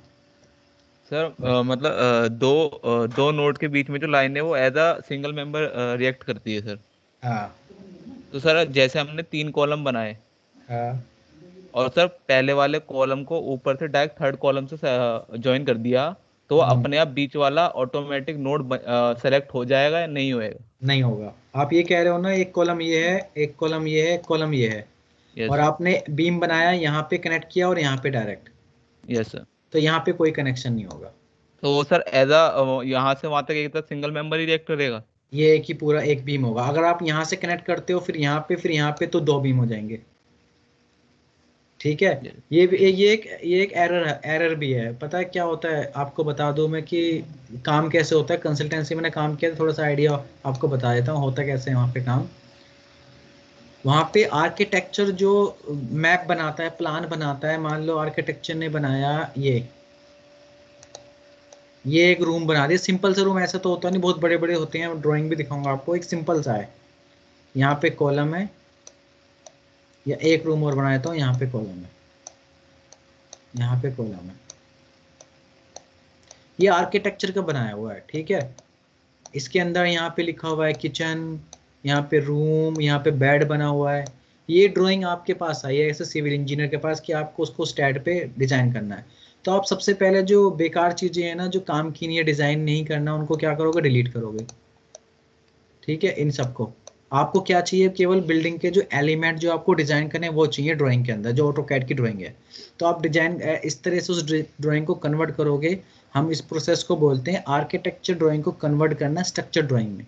क्योंकि आर्किटेक्चर में तो बहुत ज़्यादा एक्स्ट्रा डिटेल होती है, हमें डिटेल नहीं चाहिए, हमें तो स्ट्रक्चर से रिलेटेड एलिमेंट चाहिए। तो आपने सारे डिटेल डिलीट कर दिया, आपके पास रह गया कॉलम और बीम ठीक है? अब इस कॉलम का और बीम का जो साइज़ है, वो इस तरीके से है। 1.237 मीटर। क्योंकि आर्किटेक्चर ने जो बनाई थी ड्राइंग वो फीट में बनाई थी और आप मीटर में बना रहे हो। तो हम ऐसा ऐसे काम नहीं होता कंसल्टेंसी में कि आपने यहाँ से देख देख के आप स्टेट में बनाओगे। आप क्या करोगे, इस ऑटो कैड की ड्राइंग को ही इंपोर्ट कर लोगे स्टेट प्रो में। ठीक है? इस ड्राइंग को आप एक फॉर्मेट में सेव करोगे जो स्टेट प्रो एक्सेप्ट करता है। फिर स्टैट प्रो में आप उसको इंपोर्ट कर लोगे तो ये स्टैट प्रो में बना, बनाया फ्रेम आ जाएगा। ठीक है?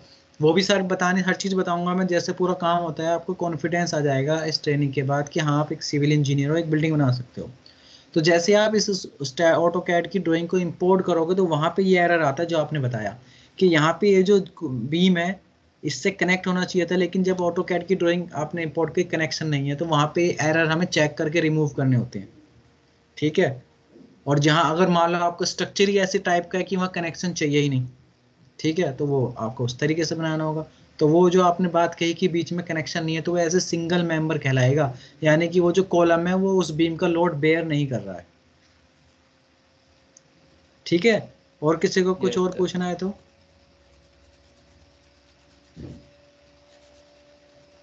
कोई भी डाउट आ रहा हो स्ट्रक्चर को लेके सिविल इंजीनियर्स को लेके आप पूछ सकते हो। उसके बाद हम आगे चलेंगे। ठीक है, आप सोचो जरा, मैं आ रहा हूँ, एक मिनट में बस पानी पी के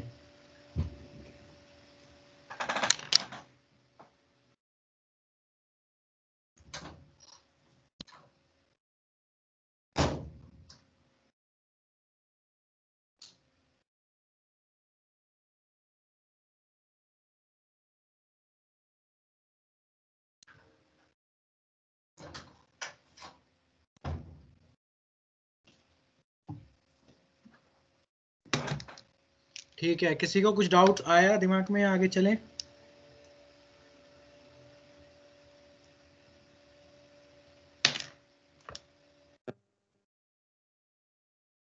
चले आगे चले।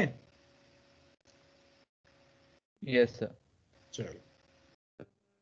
सर आपने बोला ना अभी के कॉलम बियर नहीं कर सकता लोड मतलब बीम का। तो हम हाँ। किसके अकॉर्डिंग किसके अकॉर्डिंगली लो इसकी कॉलम की ब्रेड्थ और वो रखेंगे? हाइट वगैरह उसकी उसका एक्स डिस्टेंस में कितना है वाई में कितना है इसमें? अच्छा देखो इनका जो अब म्यूट कर लो। इनका जो क्वेश्चन है कॉलम या बीम किसी भी एलिमेंट की बात करें जैसे अभी आप एग्जांपल दे रहे थे कि एक ये कॉलम है। ये बीम है और ये कॉलम है बीच में भी कॉलम है कनेक्ट है या नहीं है वो बात करते हैं, या नीचे सपोर्ट है फाउंडेशन है। इनका क्वेश्चन है कि तो लाइन डायग्राम से हमने स्ट्रक्चर बना दिया स्टैट पर बट इनका एक, दो चीज़ें होंगी, एक तो मटेरियल स्टील का है एल्युमिनियम का कॉलम है कंक्रीट का कॉलम है, किस चीज़ का कॉलम है, लकड़ी का है वुड का है टिम्बर का है, किस चीज़ का कॉलम है, एक तो ये डिसाइड करना है हमें। दूसरा डिसाइड करना है इस कॉलम का विड्थ क्या होगी और डेप्थ क्या होगी? क्योंकि तो थ्री होगा ना इस तरीके से। और इसकी हाइट क्या होगी? ये एक सिविल इंजीनियर कैसे डिसाइड करता है? ये क्वेश्चन है इनका। यही क्वेश्चन है ना आपका? ये सही है ये। ठीक है। सबसे पहले बात आती है मटेरियल की। ठीक है? मटेरियल इस चीज़ पे डिपेंड करता है कि आपका किस टाइप का प्रोजेक्ट है वो बनाना ही किस चीज़ से है। मतलब ये तो एक क्लाइंट के ऊपर है। ठीक है? क्लाइंट ने कहा कि मेरे को मेरे बिल्डिंग स्टील की चाहिए तो आप स्टील यूज़ करोगे। क्लाइंट ने कहा कि वुड की चाहिए तो टिम्बर का आप यूज़ करोगे। क्लाइंट ने कहा आरसीसी की चाहिए तो आरसीसी की आप यूज़ करोगे। या फिर जहाँ रिसर्च होती है, जैसे आप रिसर्च कर रहे हैं कोई स्पेस में कुछ चीज़ रिसर्च करें तो वहाँ तो फिर रिसर्च करते हैं कि वहाँ की इन्वायरमेंट के हिसाब से कौन सा बेस्ट मटेरियल है। या आप आइस की जगह पे, जहाँ पे आइस है, बहुत ज़्यादा बर्फीला एरिया है, वहाँ पे कौन सा मटेरियल बेस्ट है? जैसे वहाँ पे ज़्यादातर वुड के बनते हैं। पहाड़ों पे क्या होता है वुड के स्ट्रक्चर बनते हैं टिम्बर यूज़ करते हैं। तो वो तो इन्वायरमेंट और एटमोसफेयर पे डिपेंड हो गया कि कौन से मटेरियल का बनाना है, ठीक है? दूसरी चीज़ हो गई कि आपको उसकी डायमेंशन कैसे पता चलेंगी, इसकी हाइट कैसे पता चलेगी। एक कॉलम कॉलम की बात करूँ, फिर बीम कहता हूँ। एक कॉलम का ये जो थ्री आपका है कॉलम रेक्टेंगल भी हो सकता है स्क्वायर भी हो सकता है सर्कुलर भी होता है। कॉलम आपने अपने कॉलेज में देखा होगा कि कुछ कॉलम सर्कुलर भी हैं, ठीक है? तो कॉलम का जो सर्क ये जो शेप का एरिया है, ये डिपेंड करता है लोड के ऊपर। और जो हाइट है, वो डिपेंड करती है कि कितने हाइट का स्ट्रक्चर बनाना है। जैसे कि आपका जो रूम है, उसका लगभग जो हाइट होती है, वो तीन मीटर होती है। ठीक है, तीन मीटर क्यों रखी गई? कि भाई तीन मीटर में आपका जो ह्यूमन है, वो ईजिली अंदर बाहर काम कर सकता है, अपने इंस्ट्रूमेंट को अंदर ले आ सकता है, अलमारी होती है मतलब वो परफेक्ट एक हाइट है। अगर ज़्यादा हाइट रखेंगे तो बेकार है। ज़्यादा हाइट रखने से कॉलम का साइज़ बढ़ जाएगा बिल्डिंग ज़्यादा लंबी हो जाएगी फ्लोर कम मिलेंगे। तो हाइट भी एक क्या है?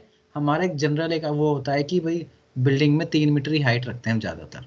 वो डिपेंड करता है स्ट्रक्चर स्टेडियम है, उसमें किस तरह का काम हो रहा है तो हाइट कितनी रखनी है। तो वो उस चीज़ पे डिपेंड करता है कि कैसी सर्विस हमें स्ट्रक्चर से लेनी है। तो ये भी हमारे लोड पे डिपेंड नहीं कर रहा हाइट भी। किस पे डिपेंड कर रहा है? उसकी सर्विस पे। अब जो मेन है वो है क्रॉस सेक्शन जो मेन जो लोड पे डिपेंड करता है क्रॉस सेक्शन इसका। इस क्रॉस सेक्शन का क्या साइज़ रखें हम कि ये जो ऊपर से लोड आ रहा है वो बेयर कर ले। ठीक है? अब दो तरीके हैं इसके, एक मैनुअली और एक है आपका स्टैट प्रो से सॉफ्टवेयर की हेल्प से। स्टैट प्रो नहीं, कोई भी सॉफ्टवेयर मैनुअली क्या होता है? आपको पता है कि इस कॉलम के ऊपर पाँच किलो न्यूटन लोड लग रहा है। तो आप क्या करोगे? इस लोड की वजह से इसके अंदर के स्ट्रेसेस कैलकुलेट करोगे, जो फॉर्मूले हैं, जो हम बुक्स में पढ़ते हैं, इसका बैंडिंग मूवमेंट निकालोगे डिफ्लेक्शन निकालोगे। फिर हमारे पास फॉर्मूला है कि इसका साइज़ कैसे निकालें? उस फॉर्मूले में वो बैंडिंग मूवमेंट शेयर फोर्स लगाओगे और आपका बी और डी की फॉर्म में इसका क्रॉस सेक्शन निकालोगे। ठीक है? बट ये तो मैनुअली तरीका हो गया। लेकिन सॉफ्टवेयर में ऐसा नहीं होता। सॉफ्टवेयर में उल्टा होता है। सॉफ्टवेयर में आपको इसका साइज़ एज्यूम करना पड़ेगा पहली फ़र्स्ट स्टेज में। ठीक है? मान लो आप फ्रेशर इंजीनियर हो तो फ्रेशर क्या करेगा? मिनिमम साइज़ लेके चलिए। मिनिमम साइज़ कितना होता है कॉलम का? वो कहाँ से पता चलेगा? वो I S code four five six two thousand में। जो गाइडलाइन देता है हमें बिल्डिंग डिज़ाइन वो कहता है कि कॉलम का minimum size 230 M M by 230 M M होता है।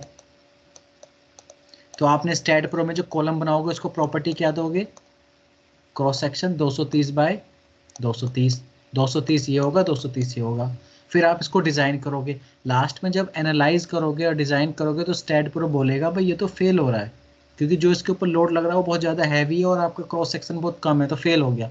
तो आप क्या करोगे फिर? आप 300 सौ mm लेके देखोगे।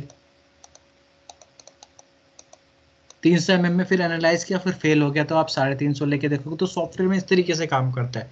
लेकिन अगर आप स्ट्रक्चर इंजीनियरिंग में एक्सपीरियंस हो तो आपको पता होता है कि इतने फ्लोर की बिल्डिंग है, इसमें साइज़ 600 बाय 600 लगेगा और आप लगाते हो और मैक्सिमम है वो पास हो जाता है।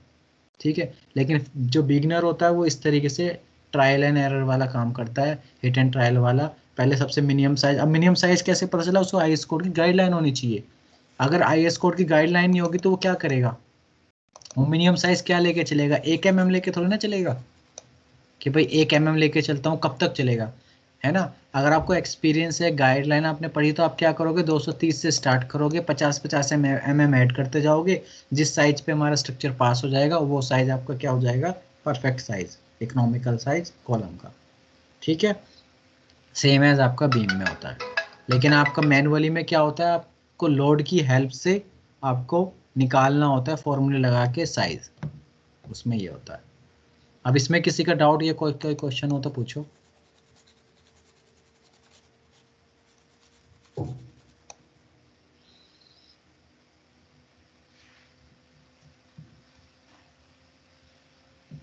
है किसी का कोई doubt no sir no sir ऐसी बहुत सारी चीज़ें जो गाइडलाइन पढ़ के और क्या कहते हैं एक्सपीरियंस से आती है। आपको अच्छा एक चीज़ और बताता हूँ।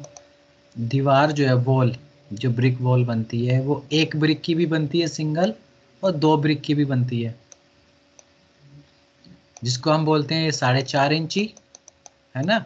ये नौ इंची की वॉल बोलते हैं ना, नौ इंची की वॉल कराइए साढ़े चार इंची की वॉल कराइए है ना? ये जो साढ़े चार, नौ इंची की वॉल है ना, इसका जो साइज़ होता है, ये लगभग 230 एम mm होता है। और कॉलम का साइज़ क्या बोला है मैंने मिनिमम 230 ऐसा क्यों? ऐसा इसीलिए आर्किटेक्चर जो होता है, उसका काम क्या होता है? बिल्डिंग सुंदर लगे। उसका काम ये नहीं होता कि बिल्डिंग में स्ट्रेंथ मिले बिल्डिंग अर्थ को एक में खड़ी रहे। ये स्ट्रेंथ देने का काम किसका होता है? सिविल इंजीनियर का। और शो अच्छी लगे देखने में एथेस्टिक हो, वो किसका काम होता है? आर्किटेक्चर का। तो आर्किटेक्चर और सभी लोग ये कोशिश करते हैं कि जो आपने देखा होगा ना, अपनी की बिल्डिंग के घर रूम के कॉर्नर पे आपका बीम कोना निकला हुआ है? है ना? कॉर्नर जो होते हैं, वो फ्लैट नहीं होते, कोने में बीम निकले हुए होते हैं। तो वो अच्छे नहीं लगते। तो या कॉलम निकला हुआ है बाहर वॉल से वो अच्छे नहीं लगते। तो इसलिए कोशिश की जाती है जो हमारी वॉल है 230 सौ mm की वॉल है ये। और जो कॉलम है वो भी 230 mm का है तो ये मर्ज हो जाएँगी। पता नहीं चलेगा कि कॉलम कहाँ पे है और वॉल कहाँ पे है। तो बहुत अच्छा लगेगा देखने में है ना? तो मिनिमम साइज़ इतना ही रखा है हमने 230 पर आपको ये कर, कोशिश करनी है कि बिल्डिंग अच्छी की बजाय स्ट्रेंथ ज़्यादा हो पास हो। भले ही हमारा क्या हो ये वॉल है और ये हमारा कॉलम है ये। तो ये कोना निकल गया ना यहाँ पे? अंदर की ओर, है ना? तो आपको ये कोशिश करनी होती है कि आपकी बिल्डिंग की स्ट्रेंथ ज़्यादा हो और आर्किटेक्चर ये कोशिश करता है कि बिल्डिंग देखने में अच्छी हो, इसलिए इन दोनों में थोड़ी सी डिबेट होती है आर्किटेक्चर में और एक सिविल इंजीनियर में। आर्किटेक्चर कहता है ऐसा नहीं होना चाहिए सिविल इंजीनियर कहता है ऐसा होगा ही, वरना बिल्डिंग गिर जाएगी। तो ये थोड़ा सा एक इशू होता है। चलो हम चलते हैं सेकेंड मेथड पे, जो बीम कॉलम फ्रेम बनाए थे। उन्हीं को हम सेकेंड मेथड से कैसे बनाते हैं स्टेट प्रो में। तो ग्रिड को आप बंद कर देते हैं यहाँ से। ठीक है? जैसे ही मैं ग्रिड को मैं बंद करता हूँ तो इसके नीचे एक और प्रॉपर्टी आ जाती है। यहाँ पे ये। एक टेबल आ जाती है जिसमें हमारे नोट्स के बारे में दिया हुआ है, एक आ जाती है जिसमें बीम्स के बारे में दिया हुआ है। जो बीम्स के बारे में दिया हुआ है, इसमें नोड में नाइन से स्टार्ट है, क्योंकि हमने डिलीट कर दिए हैं बहुत सारे नोड जो नाइन तक हम बना चुके थे। इसमें बीम सिक्स से स्टार्ट है। ठीक है? हर एक नोड का अपने कोऑर्डिनेट होगा। ठीक है? तो एक्स वाई जेड में अगर मैं यहाँ ज़ीरो ज़ीरो डाल दूँ तो देखो होगा क्या? यहाँ पे zero enter zero zero zero तो यहाँ पे आपको दिखाई दे रहा है स्क्रीन पे एक ब्लैक कलर की डॉट बन गई है नोड ये बन गया है।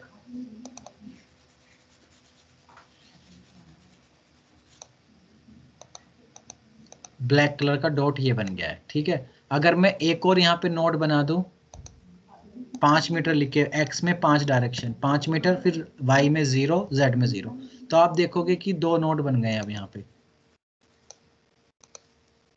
एक नोड ये रहा, एक नोड ये रहा। अगर मैं वाइट वाले उस पर क्लिक कर दूँ तो क्या कहते हैं येलो वाले क्यूब में फ़र्स्ट क्यूब में तो ये आइसोमेट्रिक की जगह फ्रंट व्यू हो जाएगा। और फ्रंट व्यू होते ही हमारे कर्सर बिल्कुल सीधे हो जाएँगे नोट्स एक नोड ये रहा, एक नोड ये रहा। अब इसमें बीच में क्या बनाना है हमें? बीम मेंबर तो उसके लिए नीचे टेबल है। तो इस नोड का नंबर क्या है? वन इस नोड का नंबर क्या है? टू तो हमें नीचे वाली टेबल में वन और टू डालना है बस। यहाँ पे डाला वन और यहाँ पे डाला टू तो आप जैसे ही मैं इसको रब कर देता हूँ, देखोगे आप बीम बन गया।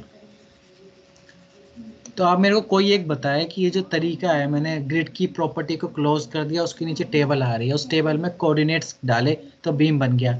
ये इजी है या बेकार मेथड है?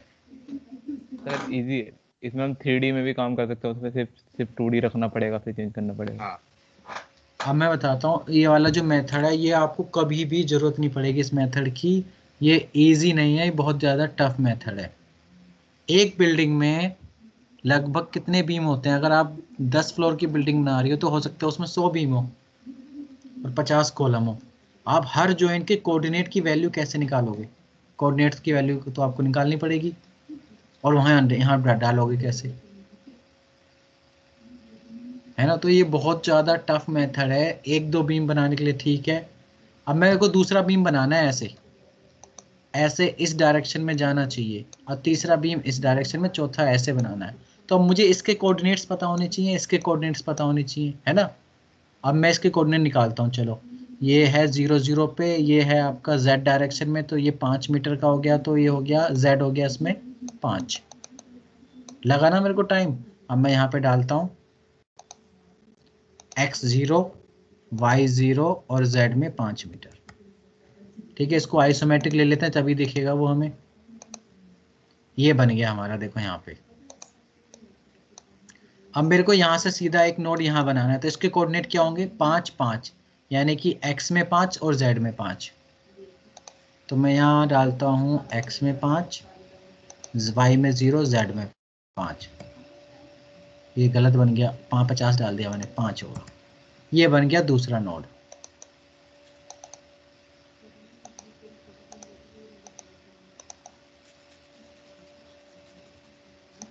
आप देख रहे हो, एक नोड ये बन गया। अब मुझे यहाँ बीम बनाना है। तो इस नोड का नंबर क्या था? तो शिफ्ट एन दबाता हूँ मैं। तो नोड नंबर आ जाएँगे शिफ्ट एन से एन तो यहाँ पे अगर मुझे बीम बनाना है, यहाँ पे अगर मुझे बीम बनाना है तो मुझे कौन कौन से जॉइंट को कनेक्ट करना है? टू और फोर को। तो यहाँ पे मैं क्या डालूँगा? यहाँ पे टू और फोर टू और फोर एंटर इन दोनों को कनेक्ट करना है तो थ्री और फोर थ्री और फोर।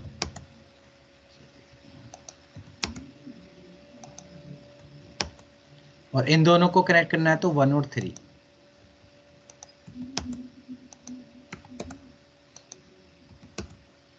देखो तो इतना छोटा सा फ्रेम बनाने के लिए हमें कोऑर्डिनेट्स निकालने पड़े, लेकिन बिल्डिंग आपको पता है कैसी कैसी होती हैं सर्कुलर इधर उधर एंगल बीम उन सब के कोऑर्डिनेट्स आप नहीं निकाल सकते। हज़ार बीम भी हो जाते हैं कभी कभी सौ कॉलम भी हो जाते हैं। तो सौ कॉलम यानी कि दो सौ नोड हज़ार बीम यानी कि दो हज़ार नोट्स उनके कोऑर्डिनेट्स निकालना फिर उनके किससे कौन सा कनेक्ट हो रहा है, वो हम नहीं बना सकते। तो ये वाला मेथड जो है, ये बहुत कम यूज़ होता है। कभी कभी एक बिल्डिंग में किसी नोड में कोई दिक्कत आ रही है, उसके कोऑर्डिनेट आपको पता करने हैं तो यहाँ से पता कर सकते हो आप। आप बनाओ किसी भी तरीके से स्ट्रक्चर यहाँ पे ये ऑटोमेटिक फिल होता जाएगा। ठीक है समझ गए ये चीज़? यस सर ठीक है एक बार मैं स्टैट को क्लोज करता हूँ दोबारा ओपन करता हूँ कुछ बताने के लिए। ये हमारा स्टैट प्रो मैं इस पर डबल क्लिक करके ओपन करता हूँ।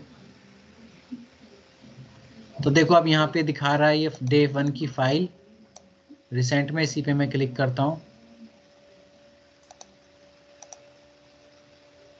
यहाँ पे ये आ गया। क्योंकि मैंने डे वन की फ़ाइल पर ही क्लिक करा तो अब ग्रिड व्रिड नहीं आई है, ठीक है? और यहाँ पे वो टेबल भी नहीं आई है। क्या कहते हैं, जो टेबल आप अभी कोऑर्डिनेट्स की देख रहे थे, वो कहाँ से एक्टिवेट करनी है? जूम कर लेते हैं उसके लिए।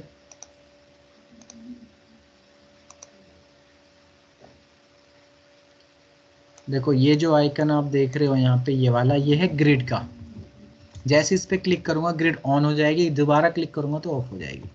तो मैं जूम इन करके करता हूँ क्लिक ये ग्रिड आ गई. ये ग्रिड ऑफ़ हो गई. ग्रिड आ गई ग्रिड ऑफ़ हो गई. ठीक है? और यहाँ से ग्रिड को आप क्लोज भी कर सकते हो. बट अब वो जो अभी मैं कोऑर्डिनेट्स डाल रहा था, वो वाली प्लेट तो है नहीं. ये जो अभी जो आ रही है ना प्रॉपर्टी ये प्रॉपर्टी वो आ रही है. आप याद करो, जब न्यू प्रोजेक्ट किया था तो वहाँ पे आ रहा था एडिट इंजीनियरिंग इंफॉर्मेशन वो ये है. यहाँ आप इंजीनियर की इन्फॉर्मेशन डाल सकते हो. ठीक है? पर मुझे ये भी नहीं चाहिए, मुझे तो वो चाहिए जो ग्रिड वो आ रहा था आपका जहाँ पे मैं कोऑर्डिनेट्स डाल रहा था, है ना? तो उसके लिए आप यहाँ पे जिमेट्री पे क्लिक करोगे। दोबारा से बताता हूँ कि जब न्यू प्रोजेक्ट करते हैं तो हमारे पास क्या क्या चीज़ आती हैं और उनको वापस लाने के लिए हम क्या करें? दोबारा से न्यू प्रोजेक्ट में कर रहा हूँ। स्पेस टाइटल डाल देता हूँ ट्राई मीटर किलो न्यूटन यहाँ पे स्पेस सिलेक्ट है। मैंने कहा आपको कुछ भी कुछ भी सिलेक्ट करने की ज़रूरत नहीं स्पेस के अलावा स्पेस में सारे काम जाते हैं। यहाँ पे ऐड बीम में जाने के बाद आप ये सारे काम कर सकते हो तो ऐड बीम पे ही आपको जाना है, बस। फिनिश आपका जो माउस का कर्सर है, वो बीम बनाने के लिए रेडी है तो सबसे पहले आपको नॉर्मल कर्सर पे जाना है, जो आप कीबोर्ड के स्कैप बटन से भी जा सकते हैं और यहाँ से भी जा सकते हैं। अब यहाँ पे ग्रिड आ रही है तो ग्रिड को क्लोज कर दो, या यहाँ से फिर दोबारा से लेके आ जाओ। ऑन ऑफ़ ऑन ऑफ़ ठीक है? ग्रिड को ग्रिड के नीचे आ रहा है आपको ज्योमेट्री का ऑप्शन जहाँ पे आप कोऑर्डिनेट की हेल्प से बना सकते हो तो वो यहाँ पे है, ये आपका geometry on off on off यहाँ से हो जाएगा. ठीक है, इस पर क्लिक करते ग्रिड भी आ जाती है ऑटोमेटिक तो दो तरीके आप सीख चुके हो. एक तो है आपका, क्या कहते हैं ग्रिड की हेल्प से आपको बनाना है स्ट्रक्चर और आपको एक बनाना है आपको क्या कहते हैं कोऑर्डिनेट की हेल्प से. देखिए, जैसे कि मैं किसी चीज़ को अगर बोलता हूँ कि भाई ये चीज़ है ना, बहुत कम यूज़ होगी, इसको कोई यूज़ नहीं करता। इसका मतलब ये नहीं है कि उसकी प्रैक्टिस नहीं करनी, उसको सीखना नहीं है। मैंने कहा, बहुत रेयर एडवांस की जगह पर फंस जा, फंस जाओगे, कहीं काम करोगे, वहाँ ये चीज़ें काम आ जाती हैं कि यार वहाँ पे हेल्प कर सकते हैं। वहाँ पे तो हम कर सकते हैं इस चीज़ को, ठीक। ठीक है, किसी बिल्डिंग में एक नोड है, वो अपनी पोजिशन से कहीं आ रहा है, हिल गया है, क्योंकि आपने क्या किया है ऑटो कैट से आपने फ़ाइल को इंपोर्ट किया तो कोई एक नोड है जो अपनी पोजीशन से हिल गया है। उस नोड पे आप क्लिक करोगे तो उसके कोऑर्डिनेट यहाँ जाएँगे और आप उस कोऑर्डिनेट को छेड़ सकते हो। तो देखा, वहाँ ये काम आ गया। ठीक है? ग्रिड का आपको कुछ चीज़ बनानी है, जल्दी से बनानी है तो आप ग्रिड की हेल्प कर सकते हो। तो ये सब चीज़ों की भी प्रैक्टिस करनी है आपको। ठीक है? आगे मैं बता नहीं रहा हूँ क्योंकि मुझे लग रहा है ऐसा कि जो बिल्कुल बेसिक है, जिनको बिल्कुल अभी कम सॉफ्टवेयर के इतने फ्रेंडली नहीं होते, उनको दिक्कत हो जाएगी ज़्यादा एक ही क्लास बताना। लेकिन मैं आपको कुछ होमवर्क दूँगा। जो आपको ट्राई करना है। ठीक है? सबसे पहले आपको एक बीम बनाना है जो होगा आपका 7.8 मीटर का। ट्राई करना है आपको ये। ए और बी जॉइंट्स हैं, इनको वन और टू बोल देते हैं। फिर आपको एक फ्रेम बनाना है इस तरीके का। सिक्स मीटर कॉलम की हाइट और थ्री मीटर बीम की हाइट फिर आपको एक और स्ट्रक्चर बनाना है कुछ इस तरीके का।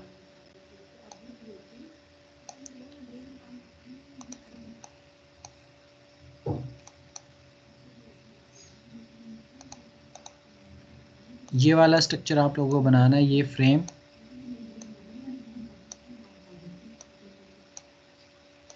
मल्टी स्टोरी फ्रेम ये नीचे कुछ भी नहीं है।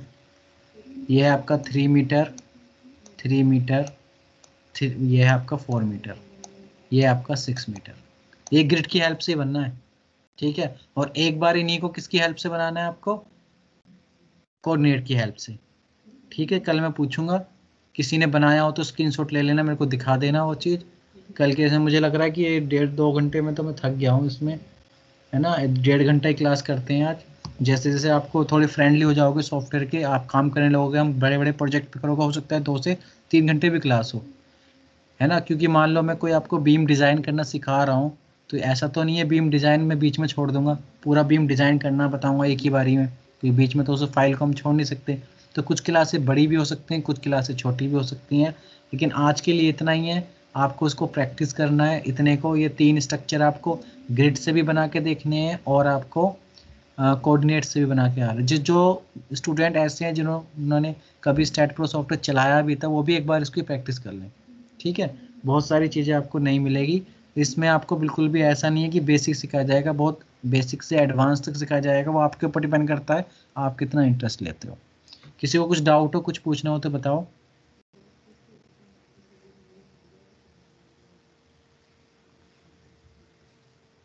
और ये मैं अभी पंद्रह बीस मिनट में ये वीडियो भी डाल दूँगा और इसका लिंक भी भेज दूँगा।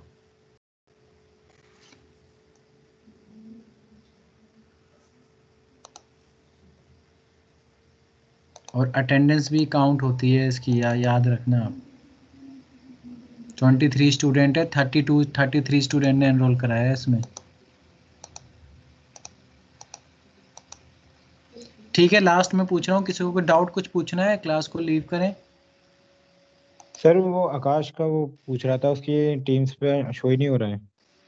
आकाश वो मेरे को व्हाट्सएप पे एक बार अपनी ईमेल आईडी भेज देगा।